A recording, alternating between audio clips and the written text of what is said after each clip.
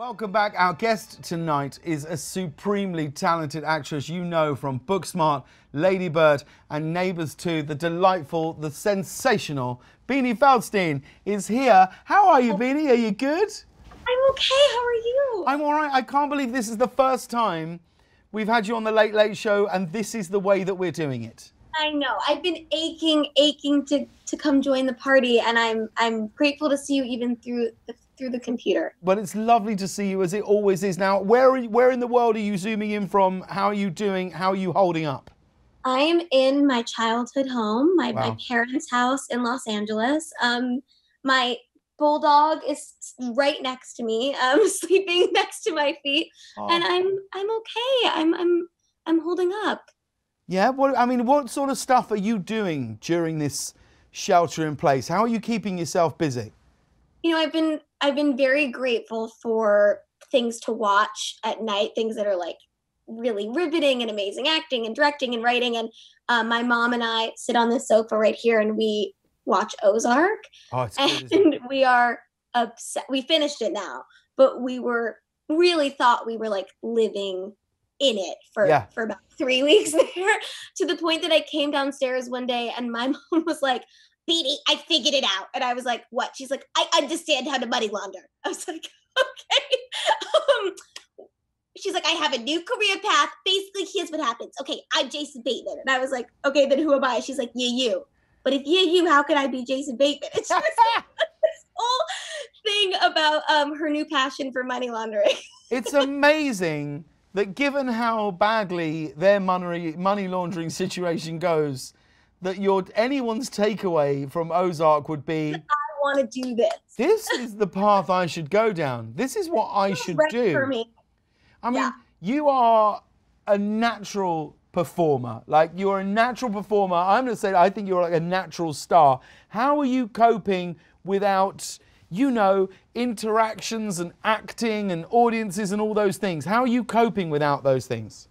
Well, you know, I'm such a people person that I think the hardest thing for me is not just being surrounded by people all the time, but my my group of friends, we all a lot of us have a flair for the dramatic, should you say. Yes. And we've been doing um these big elaborate trivia nights over Zoom. Oh, I love a good Zoom trivia night. I've I've heard you might be doing some of those as well. We've I- been doing one with the staff and we did a family one as well, which was fun. What kind of trivia are you doing though?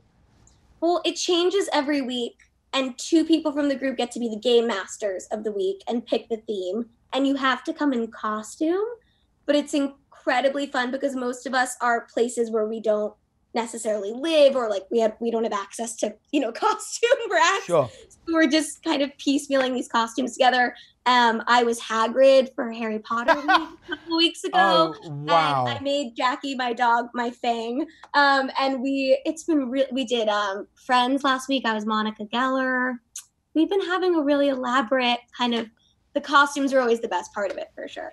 Now, something else you something else you took part in on Zoom. You took part in uh, Stephen Sondheim's 90th birthday celebration online, which was an epic night for anyone who loves him and musical theatre. And you and Ben Platt sang "It Takes Two from Into the Woods, which I got to be honest, slightly put my nose out of joint. I was a bit like, wow.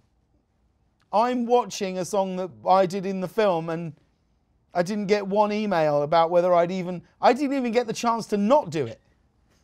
But you were brilliant. How did you enjoy being part of that? Um, I had nothing to do with I'm Jake. joking. I'm absolutely Um. No, um, it was Ben and I did Into the Woods in high school together Wow. when we were in tenth grade.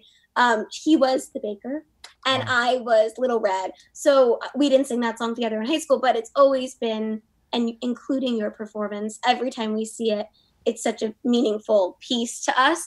And um, I don't know, I was, I was, it was really special. I think it's also it was so special to see how even when we're in different places, we can somehow be together. Like we Yeah. truly are soulmates in some way. Of like we were in our own homes, we recorded it separately, but it it felt like we were together. I don't know. It felt nice to perform with him even separately. Well, it was so good, and you and Ben together was it was so fantastic. It I really can was. come out any day for you.